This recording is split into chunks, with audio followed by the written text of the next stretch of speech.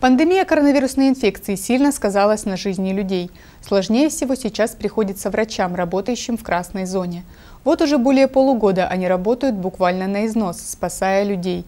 С благодарностью за их нелегкий труд депутаты городского совета подготовили новогодние подарки для медиков инфекционного отделения. В период сложной эпид-обстановки волонтерская работа очень востребована. К добровольцам присоединяются депутаты всех уровней, общественные организации и предприниматели.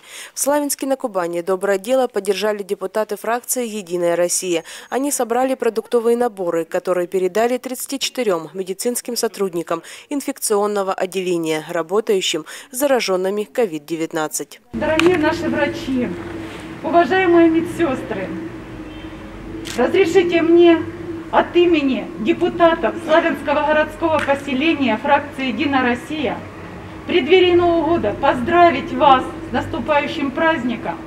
Хочется, чтобы он нам принес все самое доброе. И хочется вам сказать слова благодарности. Хотя их не соберешь в одну корзину.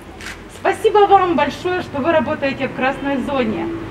Что вы, выходя на работу, рискуете собой рискуете своими близкими, семьей.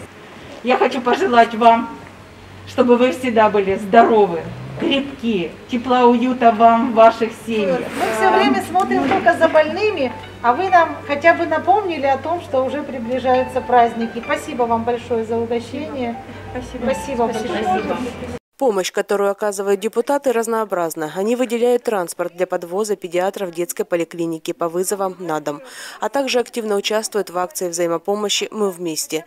Помощь врача может оказать каждый из нас. Для этого необходимо как минимум соблюдать масочный режим, чтобы не заболеть, а при появлении симптомов ОРВИ оставаться дома.